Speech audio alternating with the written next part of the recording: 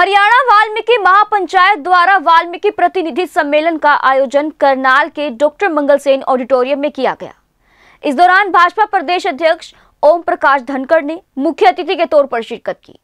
आपको बता दें कि सबसे पहले सभी अतिथियों ने भगवान वाल्मीकि के चित्र पर पुष्प अर्पित किए और दीप प्रज्वलित करके उनका आशीर्वाद प्राप्त किया। इस दौरान भाजपा प्रदेश अध्यक्ष ओम प्रकाश धनखड़ ने उपस्थिति को संबोधित करते हुए कहा कि भगवान महर्षि वाल्मीकि ने समाज को, संस्कृति व जीवन जीने के मूल्यों को सिखाने के लिए महाकाव्य रामायण की रचना की। रामायण हमें धर्म, प्रेम व त्याग की भावना सिखाती है। भगवान वाल्मीकि अनुयायियों को चाहिए कि वे अपनी इस विरासत को सहज कर रखें। ऐसी विरासत समाज के किसी भी वर्ग के पास नहीं है। यहाँ प्रदेश अध्यक्ष ने कहा कि वाल्मीकि समाज एक ऐसा समाज है जो कर्म और निस्वार्थ सेवा में विश्वास करता है। भगवान वाल्मीकि इसके उदाहरण है, जिन्होंने राम के जन्म से पहले एक पवित्र ग्रंथ की रचना की, जो कि जीवन के मूल्यों को सिखाती है। वहीं इस ग्रंथ में त्रिकालदर्शी भगवान वाल्मीकि ने भगवान रामचंद्र के परिवार को अपने आश्रम में न केवल सहारा दिया, बल्कि उनके बच्चों को ऐसी शिक्षा देकर सक्षम बनाया। आज भी वाल्मीकि समाज के लोग समाज में निस्वार्थ सेवा करके राष्ट्र हित में अपना योगदान दे रहे हैं। उन्होंने कहा कि दुनिया के सभी ग्रंथों में राज लेने की लड़ाई है, परंतु रामायण एक ऐसा ग्रंथ है जिसमें राज प्राप्त करने की नहीं, बल्कि राज त्यागने की होड़ है। भगवान रामचंद्र व भरत की लीला इसका उदाहरण है। उन्होंने कहा कि हरियाणा सरकार द्वारा अनुसूचित जाति व वाल्मीकि समाज को मुख्य धारा में जोड़ने के लिए अनेक फैसले लिए गए हैं, जिससे समाज आगे बढ़ रहा है। पहले की सरकारें केवल वाल्मीकि समाज को वोट के लिए इस्तेमाल करती थी, परंतु मुख्यमंत्री मनोहर लाल ने भगवान वाल्मीकि के नाम से संस्कृत विश्वविद्यालय, शिक्षा में आरक्षण, महापुरुषों की जयंती सरकारी खर्चे पर मनाने का अहम निर्णय लिया है। वहीं कार्यक्रम की अध्यक्षता करते हुए पूर्व मंत्री एवं मुख्यमंत्री के राजनीतिक सचिव कृष्ण बेदी ने मुख्य अतिथि का आभार प्रकट किया। और कहा कि कांग्रेस पार्टी ने वर्षों से वाल्मीकि समाज को अपनी रीढ़ की हड्डी बनाकर रखा। इस समाज को वोट के लिए इस्तेमाल किया, परंतु वाल्मीकि समाज की भलाई के लिए कभी कोई कार्य नहीं किया। इस कार्यक्रम में मंच का संचालन हरियाणा वाल्मीकि महापंचायत के मुख्य सलाहकार रघुमल भट्ट ने किया। कार्यक्रम के संयोजक जोगिंदर वाल्मीकि ने मांग पत्र पढ़ा और सभी अतिथियों का आभार प्रकट किया। इस मौके पर यशवीर बेदी निर्मला बैरागी कृष्ण कुमार मोहन लाल बग्गल आज़ाद सिंह जगमोहन आनंद मेयर रेणुवाला गुप्ता समेत कई मौजूद रहे। नमस्कार आप देख रहे थे हरियाणा वाल्मीकि महापंचायत जिसमें हरियाणा प्रदेश बीजेपी के अध्यक्ष ओम प्रकाश धनखड़ यहाँ पहुँचे थे। कार्यक्रम के बाद अभी पत्रकारों से रूबरू होंगे। यहीं ले लियो।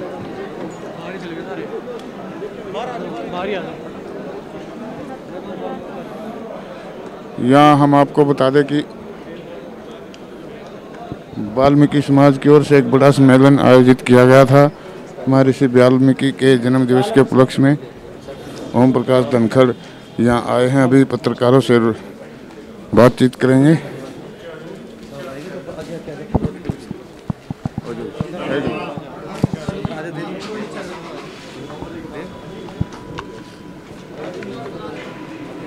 आज मैं यहाँ वाल्मीकि जयंती में शामिल हुआ हूँ। भगवान वाल्मीकि जी ने रामायण जैसे महान ग्रंथ की रचना की और हमारी सनातन परंपरा का सबसे बड़ा आधार है और मूल्यों की शिक्षा दुनिया में किसी किताब में है तो रामायण में ही। है वार ऑफ़ वैल्यूज़ भाई कैसा हो पत्नी कैसी हो धर्म कै, कैसा निभाए राजा इन सब बातों की जो शिक्षा दी गई है आज भी समाज हज़ारों साल बाद कहता है, भाई हो तो भरत जैसा हो, सहयोगी हो तो हनुमान जैसा हो, पत्नी हो तो सीता जैसी हो। ये इतने बड़े आदर्श हमारे समाज के सामने रखे। हम उन्हीं आदर्शों पे बढ़ते हुए समाज आगे बढ़ रहा है।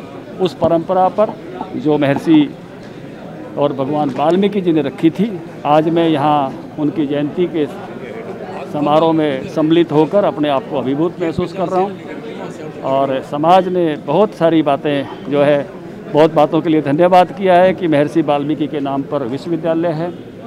पढ़ने का जो रास्ता दिया है समाज को और महापुरुषों की जयंतियाँ जो सरकारी समारोह के रूप में मनाई जाती रही हैं कोरोना काल को अगर हम इस बात को निकाल दें तो उस सब के लिए भी समाज बहुत आभारी और अनुग्रहित है। उसके लिए समाज ने आभार व्यक्त किया है। चुनाव को लेकर कैसा माहौल है बड़ौदा? चुनाव का बहुत अच्छा माहौल है। नॉमिनेशंस हो गए हैं। और बहुत मैं कहूँगा कि सभी पार्टियाँ अपने अपने अभियान में लगी हैं। ये सीट पहले कांग्रेस के पास थी लेकिन बीजेपी को एक अवसर मिला है। इस अवसर को हम उपलब्धि में बदलेंगे। किसान लगातार प्रदर्शन कर रहे हैं और 25 अक्टूबर को उन्होंने बंद का आह्वान किया है। देखिए पाँच नवंबर को 25 अक्टूबर को। देखिए जो तीनों विधेयक हैं वो किसानों की आर्थिक आज़ादी के हैं। कोई कमी, उसमें कोई किसान संगठन निकाल नहीं पा रहा। किसान संगठनों से जुड़े हुए कुछ लोग एक ही बात कहते हैं कि बाहर भी एमएसपी पे ख़रीदा जाए, ये बात उनमें जोड़ दो। ये बात व्यावहारिक नहीं है। मैं आप मीडिया के साथियों के माध्यम से ये बात पहुंचाना चाहता हूँ। अभी हम बाजरा खरीद रहे हैं 2150 के भाव में। लेकिन जब बाजरा हम खरीद बंद कर देंगे तो बाजरे का ये भाव नहीं रहेगा। सरकार बाजरे को वापस भी बेचती है क्योंकि सरकार का अपना कोई काम नहीं। तो सरकार जब वापस बेचेगी तो और सस्ता हो जाएगा।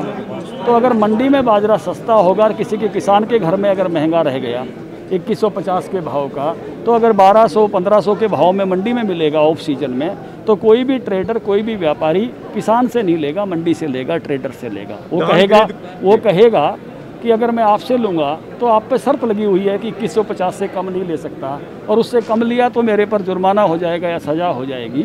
इसलिए उसको बाध्य नहीं किया जा सकता। इसी तरह से सरसों जब हम खरीदेंगे उस समय महँगी होगी जब वापस बेचेंगे तो सस्ती आ जाएगी। इसलिए वो बात व्यावहारिक नहीं है। सर किसान जो लेकिन- है मंडियों में लेकिन- पड़ी हुई है लेकिन- खरीदने वाला कोई नहीं लेकिन लेकिन ये खरीद ऐसे ही जैसे मंडी में सरकारी खरीद हो रही है धान की बाजरे की मूंग की ये ऐसे ही जारी रहेगी एमएसपी बढ़ बढ़ के आएगा। पिछली बार चौंसठ लाख मीट्रिक टन धान खरीदा था इस बार भी चाहे पैंसठ सत्तर कितना ही आ जाए उतना धान खरीदेंगे। इकतीस लाख क्विंटल पिछली बार बाजरा आया था एक एक दाना बाजरे का खरीदेंगे लगातार खरीद जारी है। धान को लेके है धान लगातार दो दो सौ रुपए कम मिल रहा है नहीं में। सब सब जगह मंडी में आप जाके सब जगह एमएसपी पर खरीद हो रही है आप जाके कवर करिए। ऐसे ही लेटेस्ट खबरें पाने के लिए बेल आइकन को क्लिक कर हमारे चैनल को लाइक शेयर एंड सब्सक्राइब करें धन्यवाद JBD Banquets लाए हैं incredible marriage palace Rajgharana and the finest banquet hall Jyoti Garden. World class catering, centrally air conditioned, lush green lawns, state of the art lighting. A perfect venue for wedding, launching and parties. Rajgharana and Jyoti Garden at JBD Banquets Enterprise.